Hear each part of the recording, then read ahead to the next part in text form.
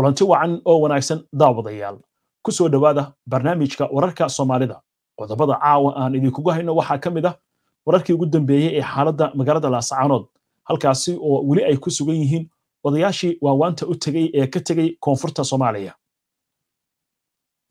Maraykankuna waxay madaxweynaha somalilan kala hadleen arrimaha ku aadan kala qaadista ciidanka ku sugan magaalada laascaanood arrintan waxay ka macno tahay ayaan sidoo kale falanqayn doonnaa madaxweynaha somalilan ayaa isaguna maanta war ka soo saaray ciidamadaasi ku sugan duladka magaalada laascaanood iyo arrimaha ammaanka ee somalilan. Madaxweynaha waddanka maraykanka joe biden ayaa waxaa soo food saartay cadaadis ku aadan ciidamada maraykanka ee ku sugan soomaaliya. Dowladda soomaaliyana waxay ku dhawaaqday in la cuuriyaamiyey dhaqaalihii al-shabaab ee heli jirtay intiisa badan. Dhinaca kale ciidamada puntland ayaa dagaal culus ku qaaday kooxda daacish ee gobolka bari ku leh saldhigyo kala duwan. Xilli lagu soo warramayo in halkaasi uu ka dhashay khasaare culusa dowladda soomaaliya waxay maanta ku dhawaaqday amar ku aadan keenista mootabashaashta sidoo kale waxaan idiin haynaa wararkii ugu dambeeyey ee banaanbaxyada nairobi iyo saamayntii maanta ay ku yeesheen ganacsigii soomaalida iyo guud ahaan dadka soomaaliyeed ee ku dhaqan magaalada nairobi wariyaha telefishinka h b n ee magaalada muqdisho liibaan cabdi warsame ayaa imika qadka toos ugu jira. Liibaan bal inoogu bilow wararka xaaladda magaalada lascaanood sida ay tahay caawa iyo weli wararka amuurahaasi la xiriira. Mawlid xaaladda magaalada laascaanood xarunta gobolka sool si guud waa ay degan tahay. Ciidamada weli waxay ku sugan yihiin goobihii ay awr ku sugnaayeen oo ay kaga jireen daafaca ama difaaca marka intaas laga soo tago in xaaladdu ay degan tahay waxaa weli halkaas ku sugan odayaashii dhaqanka ee ka tegay magaalada muqdisho kuwaas oo weli wada hadal kula jiro isimada iyo qeybaha kala duwan ee bulshada ee magaalada laascaanood dhanka kale markii la eego weli wax war ah ma uusan ka soo bixin dhanka somaliland odayaasha ayaan wax war ka sugayaan oo ku aadan in dhinaca somaliland oo hadal kaga yimaado maadaama ujeedka safarkooda oo xambaarsanaa in ay gaaraan gudaha somaliland si ay arrimaha ka taagan laascaanood ay kala hadlaan odayaasha iyo weliba madaxda markaasi somaliland. Si kastaba odayaasha ayaa markaas waxaa laga soo warinayaa in ay hadal ka sugayaan in ka helaan dhinaca somaliland maadaama weli magaalada laascaanood ay ku yihiin wadahadaladii ay kula jireen isimada iyo waxgaradka gobolkana oo meel fiican u marayo. Intaas markii laga soo tago magaalada laascaanood waxaa kaloo jiro in maraykanka oo markaasi hadal oo la yeeshay madaxweynaha somaliland muuse biixi cabdi safiirka soomaaliya u jooga markaasi maraykanka ayaa waxa uu sheegay inuu qadka telefoonka oo kula hadlay madaxweyne muuse biixi oona u sheegay in la kala qaado ciidamada ku sugan magaalada laascaanood dhanka kalena la dedejiyo ama markaasi diiradda la saaro arrimaha doorashooyinka somaliland oo muddooyinkii u dambeeya halkaasi oo ka tagnaa khilaaf markaasi u dhexeeyo madaxda iyo mucaaradka. Mawlid intaas markii laga soo gudbo madaxweynaha somaliland ayaa wuxuu ka hadlay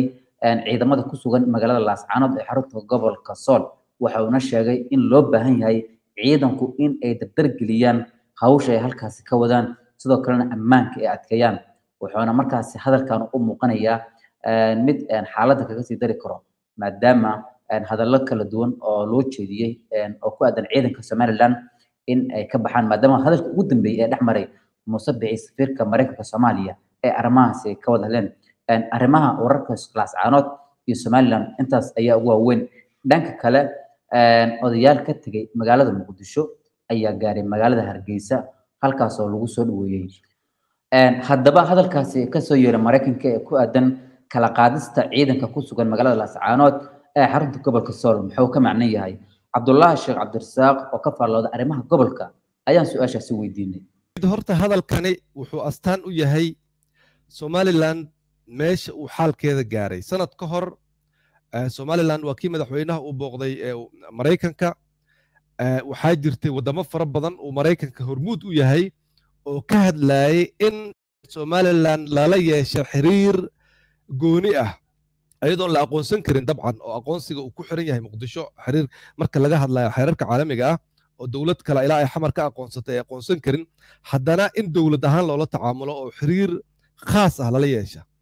Laakiin haddana xaalka sanad kadib xaalkii uu isbedelay oo dunidii haatan waxay ka hadlaysaa somaliland oo maaragtay xadgudubyo fara badan oo xuquuqda aadanaha ay ka dhaceen. Uguma horreynina laasacaanood waxay ka dhaceen hargeysa mudaaharaadyadii mucaaradka waad ogeyd haddana weriyaashii waad ogeyd wixii lagula kacay marka tan laasacaanood un waxay qayb ka tahay dhibaatadaas guud iyo welwelkaas caalamiga ah ee laga qaba halka uu ku socda xaalka somalilan oo dabcan muddadii doorashada la soo dhaafay ayadoo wax heshiis siyaasadeed oo dowladdii iyo mucaaradkii aanay ka gaarin laakiin dhinaca kale markii loo fiiriyana looma fasiran kara marnaba in mawaaqiftani caalamiga ah ay taageersan yihiin dooda taalla magaalada laasacaanood ee ah in ciidamada somalilan ay ka baxaan in iyagana ay ka go'aan somalilan oo aayahooda ay meel kala geeyaan. Doodani caalamiga ee taagan waxay ka hadlaysaa in dhibaatadani ay tahay dhibaato guud oo somalilan ka jirta dhibaatadaas guud ee somalilan ka jirtana ay ka mid tahay oo ugu horreysa in doorashadii iyo siyaasaddii laga heshiiya kadibna in xadgudubyadani dhacay ee xuquuqda aadanaha tii laasacaanoodna ay ka bilaabatay dil nin loo geystay siyaasi mucaarid ah oo waddani ah. Kadibna ay ku xigtay dibadbaxya si fowqal caadi ah oo xoog ah looga hortagay oo kadibna ay ka faa'iidaysteen dabcan meeshii haddee waa meel oo siyaasaddeedii ay dhinacyo badan ay gacmogacmaynayaan marka dhinacyadii kale ee somalilan aan ahayn ay ka faa'iidaysteen oo xoog u soo galeen oo haatanna doodiba aanay isbeddeshay oo ay taagan tahay ciidamada somalilan ha baxeena marka labada dhinacba culayska la saaraya muuse bixi waxay tahay in xaalka waddanka uu dejiya mucaaradkii iyo dowladdii iyo wixii oo dhan laga heshiiye doorashadii iyadoo laga yaabo marka haddii taas xal loo hela arrinta laasacaanood lafteedana in xal loo helo. Cabdulahi sheekh cabdirasaaq oo ka faallooda siyaasadda gobolka geeska africa islamarkaasna ah agaasimaha macadka daraasaadka ee horngate research center ayuu kaasi ahaa. Waayahay liban waxaa jirta war soo baxaya oo ku aadan in madaxweynaha waddanka maraykanka joe biden uu haysto cadaadis ku aadan ciidanka maraykanka ee soomaaliya ku sugan. Iyo safiirka maraykanka isna la leeyahay waa la bedelayaa bal wararkaasi maxaa ugu dambeeyey?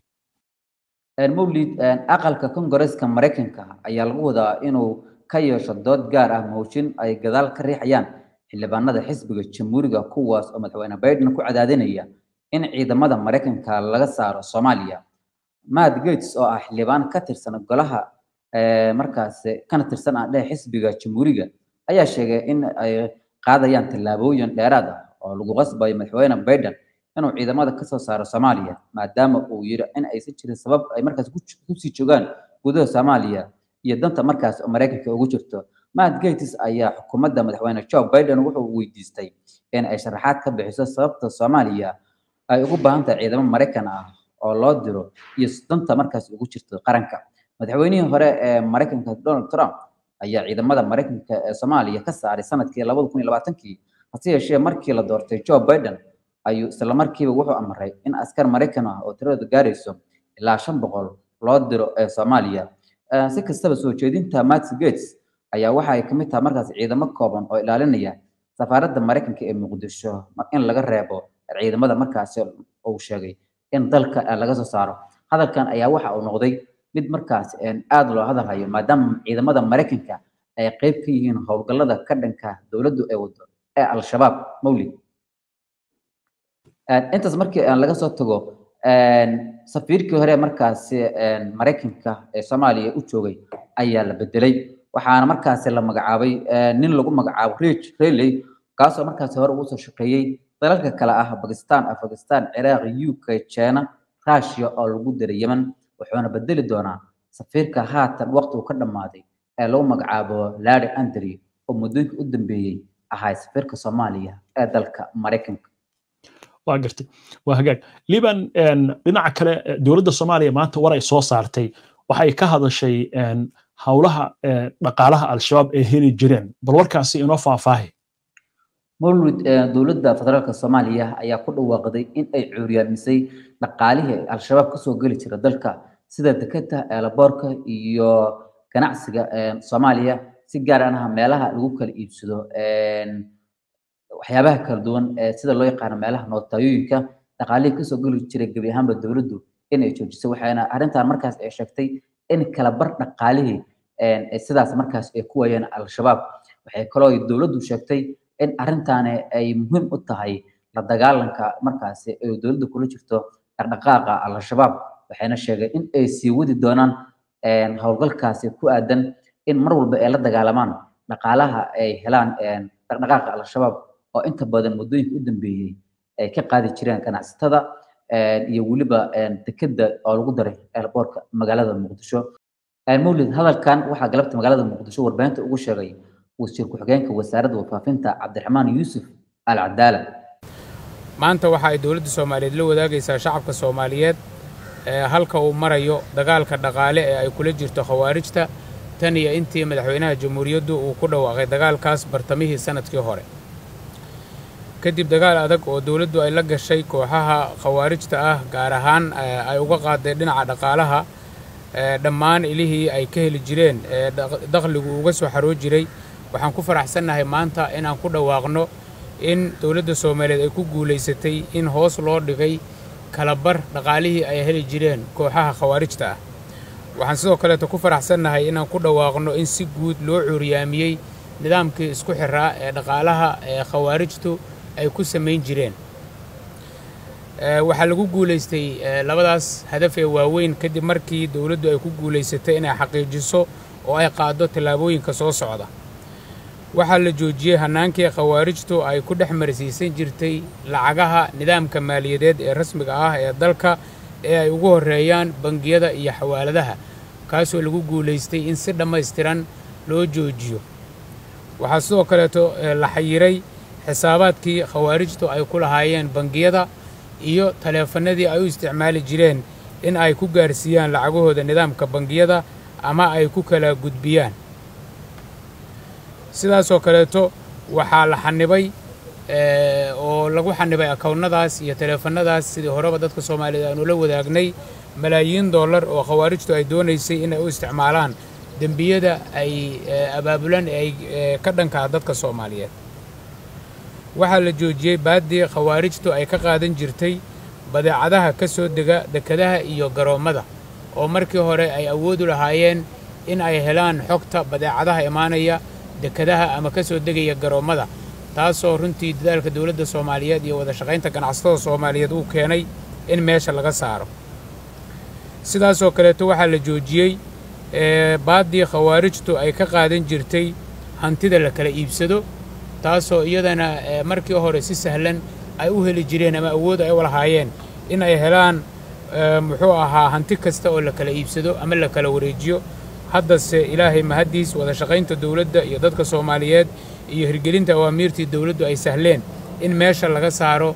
nuucaas baadeed ee khawaarijtu muxuu ahaa ay qaadan jirtay. Isla wararka isla wararka muqdisho haddii aan sii eegno dowladda soomaaliya ayaa sheegtay inay markaasi joojisay bajaajka la keeni jiray dalka gaar ahaan golaha wasiirada oo arrintaani muddooyinka u dambeeyey loo xil saaray kana soo shaqeeyey ayaa kulan ay maanta ku yeesheen oo hogaaminayey ama oo hormuud ka ahay ra'iisul wasaaraha xukuumadda xabsi camdi barre. Ayaa waxay ku sheegeen gebi ahaanba laga bilaabo kowda bisha abril ee soo aadan in dalka aan la keeni karin qiimihiisa kala duwan wax bajaaj ah. Sidoo kale waxay markaas ay soo hadal qaadeen in shuruudo kale oo markaas ay sheegeen ama waxyaabaha shirka ka soo baxa waxaa ka mid ah in gaadiidka bajaajta ee ku sugan muqdisho kowda bisha abril ilaa soddonka in la diiwaan geliyo oo loo yeelo astaamo markaas lagu yaqaano sida a iyo ba oo kale in markaas noocaas loo diiwaan geliyo iyo in marka la eego dadka bajaaj sawado aan loo ogolaa doonin toban iyo sideed waa toban iyo sideed sano jir wax ka yar in ay bajaaj ku wadaan loona ogolaa doonin in ay qaataan ruqsadda bajaajta lagu wado. Arrintan ayaa markaas waxaa lagu sababeeyey mawlid muddooyinka u dambeeyey magaalada muqdisho waxaa ka dhacay arrimo lid ku ah falka ammaanka iyadoo bajaajley kala duwan beri la soo dhaafay siyaabo kala duwan loogu dilay magaalada muqdisho. Waaya liban dhanka puntland waxaa la leeyahay ciidamada puntland iyo daacish ayaa ku dagaalamay deegaano ka tirsan gobolka bari. Maxaynu faahfaahin ka haynaa arrintaas mawlid maanta gobolka bari waxaa ka dhacay dagaal culus oo u dhexeeya ciidanka puntland iyo kooxda daacish oo ku sugan buuraleyda gobolka bari.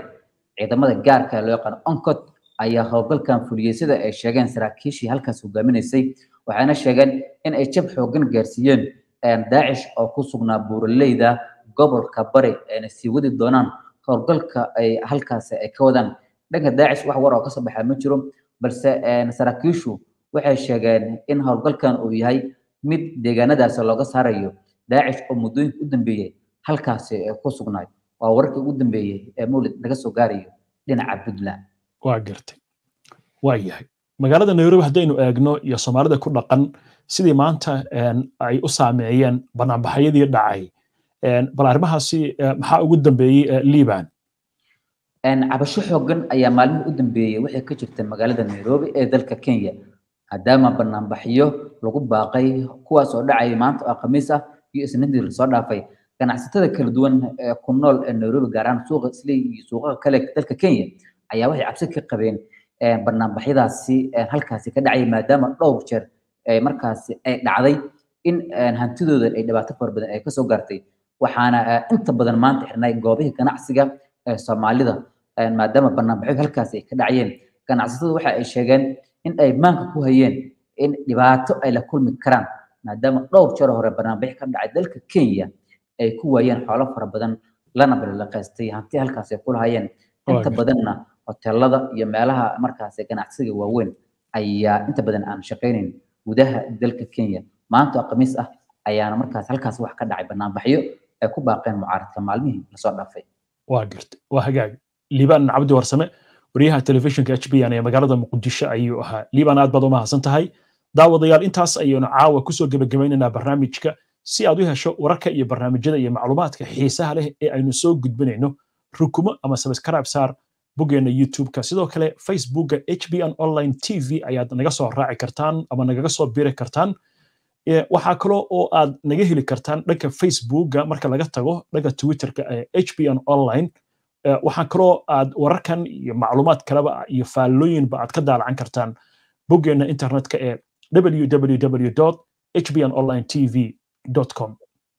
Habeen dambe waa jimce barnaamijka ma jiro marka waxaa inoo ballamay insha allahu tacaala sabtida. Inta ka horreysa nabadgelyo